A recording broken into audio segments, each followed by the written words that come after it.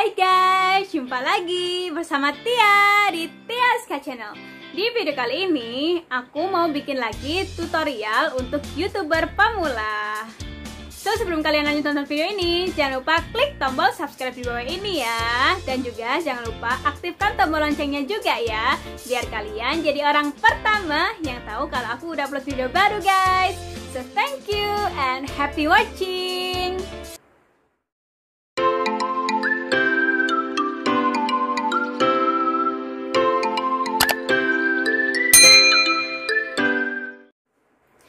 tutorial kali ini, aku mau nunjukin gimana sih cara masang layar akhir pada setiap video-video yang udah kita upload di channel YouTube kita. Seperti ini, guys.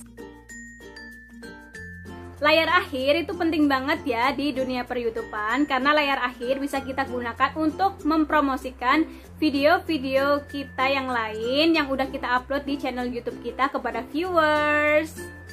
So biar gak kepanjangan intronya, langsung aja aku tunjukin tutorialnya. Oke langsung aja kita mulai tutorialnya. Jadi kalian langsung masuk aja ke browser yang ada di handphone kalian. Nah di sini aku mau pakai Google Chrome. Jadi kalian sesuaikan aja ya dengan aplikasi browser yang ada di handphone kalian.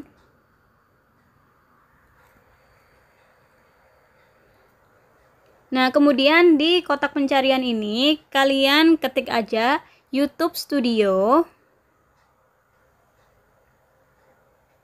Kemudian klik enter. Dan kalian pilih pilihan yang paling atas ini ya, yang YouTube Studio ini. Kemudian klik aja tanda titik tiga yang berada di pojok kanan atas ini. Lalu scroll aja sampai ketemu pilihan situs desktop. Nah, kemudian kalian klik aja.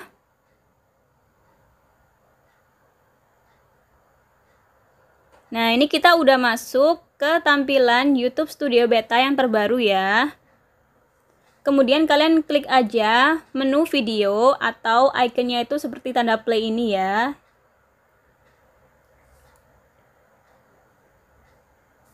Kemudian kalian klik aja video mana yang mau kalian tambahkan layar akhirnya. Di sini aku mau nambahin layar akhir di video aku yang terbaru yang Shopee Haul Pasmina Murah ini. Nah, ini aku klik ya di judulnya ini. Kemudian klik aja icon pensil atau edit ini.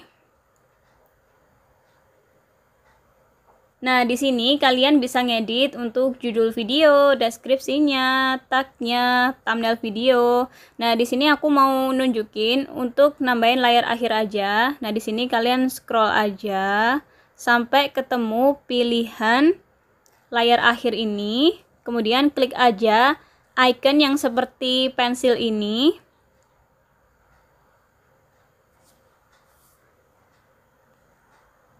Nah, di sini YouTube udah nyediain yang totalnya ada 6 template gitu. Jadi kita bisa pilih-pilih aja.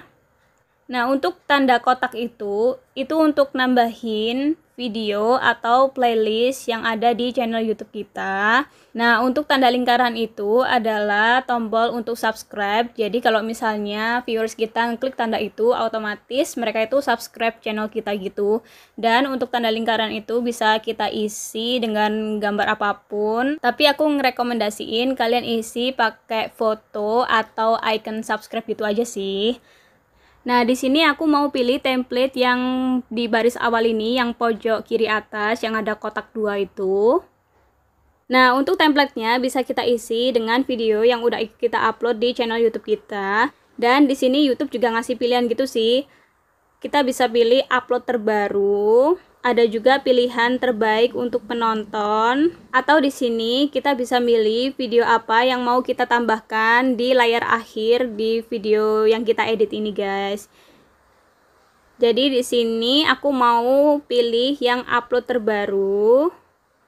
Nah, untuk template yang kedua, aku mau pilih yang pilihan terbaik untuk penonton ini aja guys.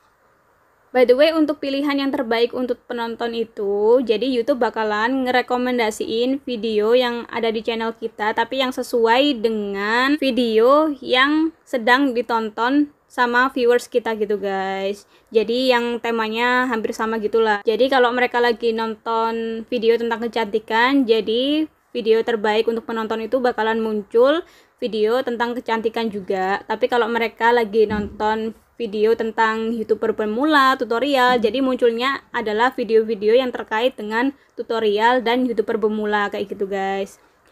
Kemudian lanjut aja, kalian scroll ke bawah. Nah, di sini kalian atur aja di menit dan detik keberapa layar akhir itu akan ditampilkan. Nah, jadi kalian bisa klik tanda yang seperti persegi panjang ini yang udah ada judulnya itu kemudian kalian geser-geser aja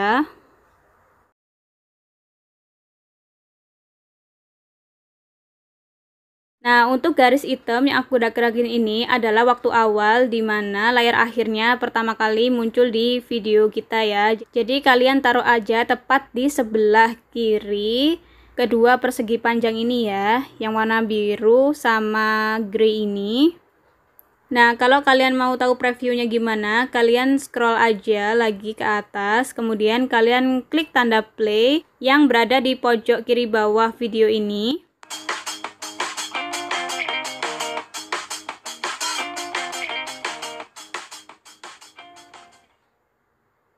Kalau udah sesuai, kalian klik aja tombol simpan yang berada di pojok kanan atas ini. Tapi kalau misalnya belum sesuai dengan keinginan kalian, kalian bisa atur-atur lagi di bagian bawah ini tadi guys.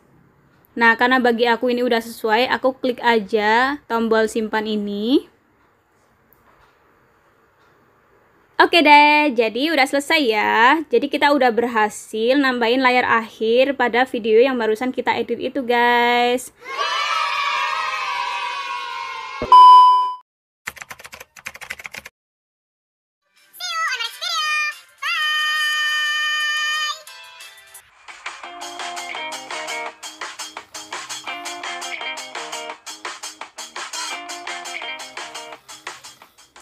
Oke okay guys, jadi cukup segini dulu ya tutorial kali ini. Semoga video ini bermanfaat.